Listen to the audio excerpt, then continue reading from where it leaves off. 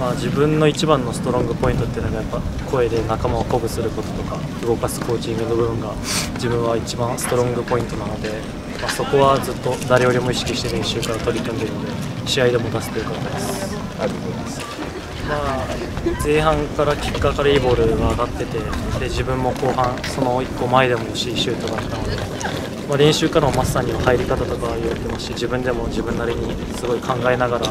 マーク外して入ってるのでそれがこうやって試合の中で結果として出せてよかったです。まあ、まだ自分も安定してスタメンでは出れてないのでそこはもうこの空いた期間の練習から一回一回しっかり集中して取り組むことが大事だと思っているのでそれを継続して取り組むだけです。ありがとうございました。ありがとうございます